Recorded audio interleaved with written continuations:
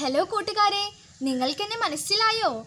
ഞാൻ ആരാണെന്ന് ചിലരെങ്കിലും ചിന്തിക്കുന്നുണ്ടാകും അല്ലേ?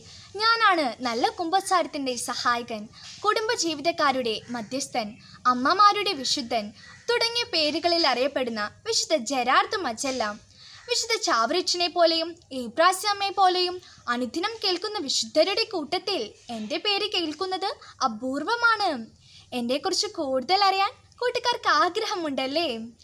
പ്രശാന്ത സുന്ദരമായ തെക്കേ ഇറ്റലിയിലെ മൂറോ എന്ന സ്ഥലത്ത് തൽക്കാരായ മാതാപിതാക്കളുടെ അഞ്ച് മക്കളിൽ ഇളയവനായി ആയിരത്തി എഴുന്നൂറ്റി ഇരുപത്തിയാറ് ഏപ്രിൽ ആറിനാണ് ഞാൻ ജനിച്ചത്. നിങ്ങളുടെ കുട്ടിക്കാലം പോലെ അത്ര സുഖകരമായിരുന്നില്ല എന്റെ ജീവിതം. വീട്ടിൽ വളരെ ദാരിദ്ര്യമായിരുന്നു. എന്റെ പന്ത്രണ്ടാമത്തെ വയസ്സിലാണ് അപ്പച്ചൻ മരിക്കുന്നത്. അതോടെ വീട്ടിലെ ദാരിദ്ര്യം വർദ്ധിക്കുകയും കുടുംബത്തിന്റെ ചുമതല മുഴുവനും എന്റെ മേലാവുകയും ചെയ്തു. കളിച്ചു നടക്കേണ്ട സമയത്ത് എനിക്ക് പണിയെടുക്കേണ്ടി വന്നു. ഒരു നാൾ തയ്യൽ പഠിക്കുവാനായി ഞാൻ എന്റെ അമ്മാവന്റെ വീട്ടിലേക്ക് പോയി. എന്നാൽ ഉപദ്രവം സഹിക്ക വയ്യാതെ എനിക്ക് വീട്ടിലേക്ക് മടങ്ങേണ്ടി വന്നു. പക്ഷേ കൂട്ടുകാരെ ഞാൻ വീട്ടിൽ നിന്നാൽ എങ്ങനെ ഞങ്ങളുടെ ദാരിദ്ര്യം മാറും അത് പരിഹരിക്കാൻ എനിക്കൊരു വഴി കിട്ടി. ഞാൻ എന്റെ വീടിനടുത്തുള്ള രൂപതയിലെ ബിഷപ്പിന്റെ കുഷിനിക്കാരനായി ജോലി ചെയ്യാൻ തുടങ്ങി. അദ്ദേഹത്തിന്റെ മരണം വരെ ഞാൻ അവിടെ താമസിച്ചു. ആ ദിവസങ്ങളിൽ എന്നിലെ ദൈവവിളി ഞാൻ അറിയാതെ വളരുകയായിരുന്നു. കൂട്ടുകാരെ നിങ്ങളുടെ ജീവിതത്തിലെ ഏറ്റവും വലിയ ആഗ്രഹം എന്താണ്? എന്റെ ജീവിതത്തിലെ വലിയ ആഗ്രഹമായിരുന്നു ഒരു വൈദികനാകുക വിശുദ്ധനാകുക എന്നത്. പക്ഷേ എന്നെ വൈദികനാക്കാൻ ആർക്കും ഇഷ്ടമുണ്ടായിരുന്നില്ല.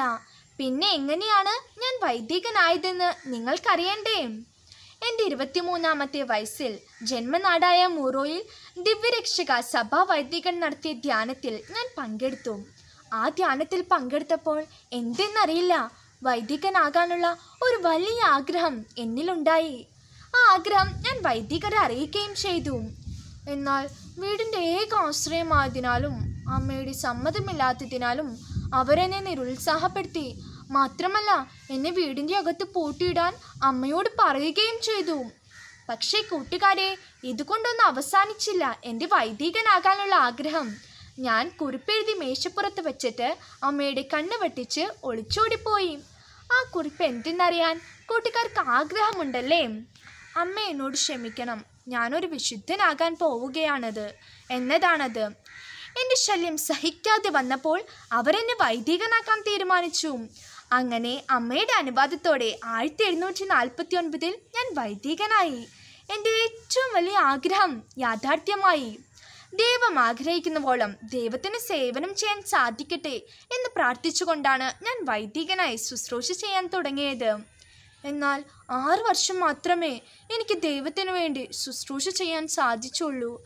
ക്ഷയരോഗം ബാധിച്ച ഞാൻ ആയിരത്തി എണ്ണൂറ്റി അൻപത്തി അഞ്ച് ഒക്ടോബർ പതിനാറിന് ദൈവസന്നിധിയിലേക്ക് യാത്രയായി.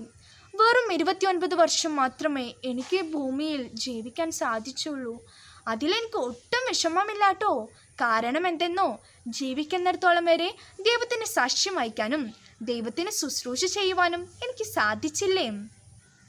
പക്ഷേ കൂട്ടുകാരെ ഞാൻ നിങ്ങളോട് എന്റെ രണ്ട് ആഗ്രഹം പറഞ്ഞില്ലേ അതിലൊന്നാമത്തേത് നിറവേറി. രണ്ടാമത്തെ ആഗ്രഹമായിരുന്നു ഒരു വിശുദ്ധനാക്കുക എന്നത്.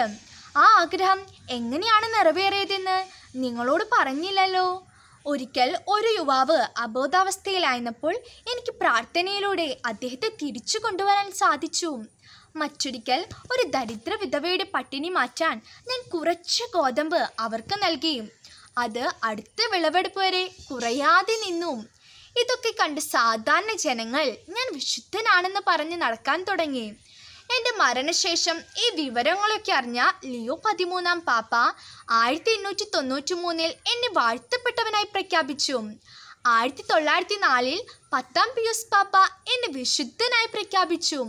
അങ്ങനെ എന്റെ രണ്ടാമത്തെ ആഗ്രഹവും നിറവേറി.